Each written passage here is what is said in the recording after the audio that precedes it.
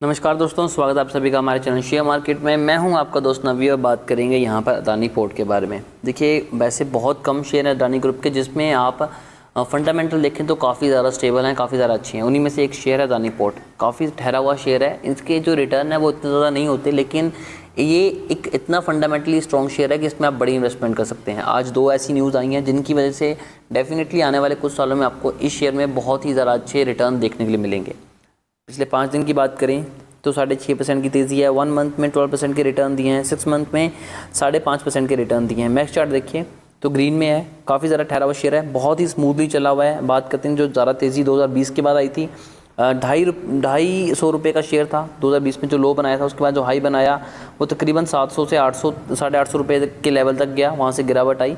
देखिए यहाँ पर जो मेन चीज़ें हैं, समझनी चाहिए कि इंडिया से जो एक्सपोर्ट हो रहा है, वो लगातार इंक्रीज़ हो रहा है। ऐसे में जितनी भी कंपनीज़ हैं जो एक्सपोर्ट करती हैं उन्हें बेनिफिट होगा ही और उन्हीं में से एक कंपनी है अदानी पोर्ट तो यहाँ पर हम देखेंगे, उन कारणों को जिनकी वजह से स्टॉक में आपको तेज़ी देखने के लिए मिलेगी। पहली न्यूज़ है कि India export rise to record high 418 billion in 2022 तो जो इंडिया का एक्सपोर्ट है, वो बहुत ही ज़्यादा ज़बरदस्त हुआ है, एक नई हाइट पे पहुँच गया है। और इसमें सबसे ज़्यादा फ़ायदा अदानी पोर्ट का होगा, क्योंकि ये इनके काफ़ी ज़्यादा पोर्ट है और डेफिनेटली 60 टू 70 परसेंट यही एक्वायर करते हैं, जितनी भी इम्पोर्ट एक्सपोर्ट होता है। तो यहाँ पर India merchandise export sported to a record high of 418 billion in 21-22 physical year of higher shipment of petroleum product engineering good and gems and jewellery and chemical according to official data release on the Sunday देखिए, एक अच्छा यहाँ पर profit हुआ है company को, जितना export India से हुआ है। सेकंड चीज़ यहाँ पर एक और निकल के आती है कि इंडिया में इंडिया की जो बड़ी कंपनीज़ हैं, उसमें से एक अदानी पोर्ट है। काफ़ी ज़्यादा ये पोर्ट से एक्वायर करते हैं। उसके बाद इन्हें भी बेनिफिट होगा। इनके चार्जेस लगातार इंक्रीज़ हो रहे हैं।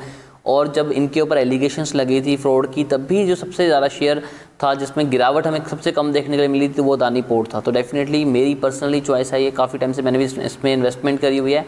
ये एक ऐसा शेयर है जिसमें आप लंबे टाइम के लिए इन्वेस्टमेंट कर सकते हैं। डेफिनेटली आपको अच्छे रिटर्न मिलेंगे। शॉर्ट टर्म के लिए ये आप शायद आपको निराश करते फिर भी अगर आपकी कोई क्वेरी होती है तो कमेंट कीजिए। हमारी कोशिश होगी कि आपको एक अच्छी एडवाइस दें, आपकी हेल्प करें।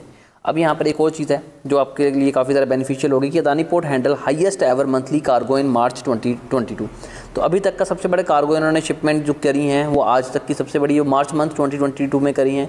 इसका भी एक इम्पैक्ट पड़ेगा Adani port and special economic zone limited A P S E Z has announce about the optical performance of the for the period of thirty first March 2022 की माइलस्टोन तो यहाँ पर कुछ की माइलस्टोन भी बताए हुए हैं कि कंपनी लगातार एक अच्छे कार्गो शिपमेंट कर रही है। प्रॉफिट काफ़ी ज़्यादा हो रहा है इनको।